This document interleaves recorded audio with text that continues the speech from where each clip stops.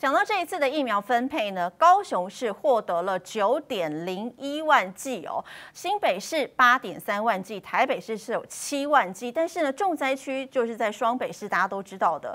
指挥中心呢，虽然说明说这个高雄市涵盖了一点零一万，是属于我们的国军专案使用，但其实呢，扣除了这个专案配发数，高雄市还是取得相当高的疫苗数。指挥中心这个配发标准到底有没有考量到我们的疫情严？峻程度呢？今天我们在线上就请到台北市议员游淑慧，要请教议员，议员的看法如何？议员早安，Hello 早。我今天早上很认真的哦，去把这个疫苗的数字跟人口的这个统计哦去做比对哈。第一个，当时日本为什么要捐我们这一百二十四万剂？如果大家还记得哈，日本的这个。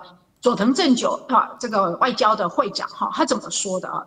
他说哈，因为双北疫情严重，然后他说日本得到的讯息是这个疫情并没有扩散到全全台湾，双北疫情严重，所以他们先给了一百二十四万剂。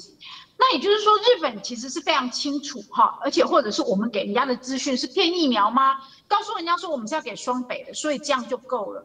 可是为什么疫苗来了以后？却是按照齐头式的方法去分配，而不是按照风险呢？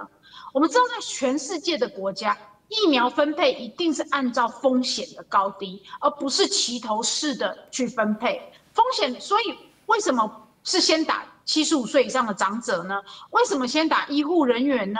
因为他们风险高嘛。如果说现在中央要用齐头式的平平均法，他用说，哎呀，所有长辈的七十五岁以上的百分之二十七去算的话，他齐头式的去算的话，那说真的，那你为什么不每个年龄层都齐头式呢？当然就是按照风险嘛。所以今天第一个，你已经没有按照风险去做考量，已经是非常不专业。第二个，也违背了日本捐赠的这个原始的初衷，因为日本已经说得很清楚了，是因为双北疫情严重。那你居然不在双北重军压阵，把双北的疫情先压下去，这是什么鬼呢？第三个国军只有在高雄有有国军吗？其他各县市的国军呢都没得打吗？为什么只有高雄的国军需要需要打疫苗，其他地方的国军都不需要？这都是瞎扯啦！